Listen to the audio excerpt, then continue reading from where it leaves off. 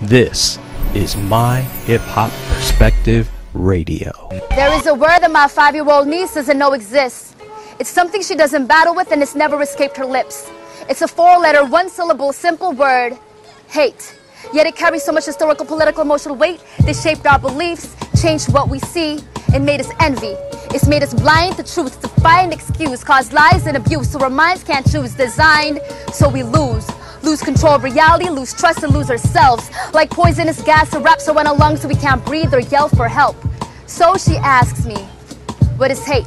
It's made men turn on each other, cock the gun and hold it gunpoint. It's made scapegoats so we blame folks for our faults while our fingers point. It's made innocent lives grow closed eyes while enclosed in mask of lies. By making teenage girls cry because their body size will never suit your eyes. It's made us wish we were someone else.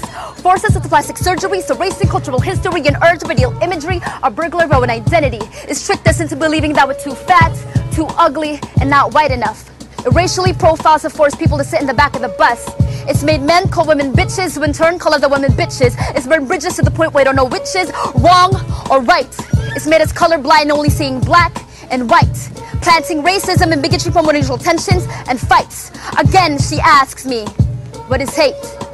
It's taught 18-year-old boys how to use a gun while on the same field stands 5-year-old children who are taught to shoot someone. It's made victims of abusive fathers do the same to their own daughters. It's made men boost their masculinity by exploiting another's femininity. It's built glass ceilings, internment camps, nooses, and not allowed signs. It's raised narrow-minded babies who maybe they'll never see past their own kind. It controls the schools and media through propaganda, teaching us the enemy when we don't question or raise our hand up. Still, she asks me, what is hate?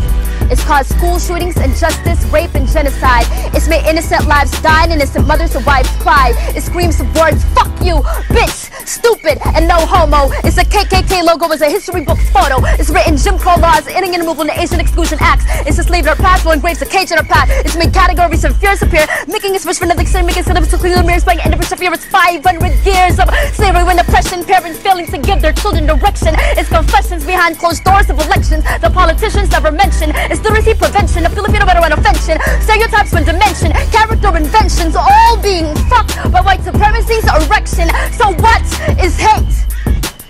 It's something that my five-year-old niece can't feel. For her, it's a man-made social construct, so it isn't real. It's an empty word, insignificant, powerless, and nameless. Now I'm just waiting for the rest of the world to follow, so we don't know what hate is. Let's no longer know what hate is. Man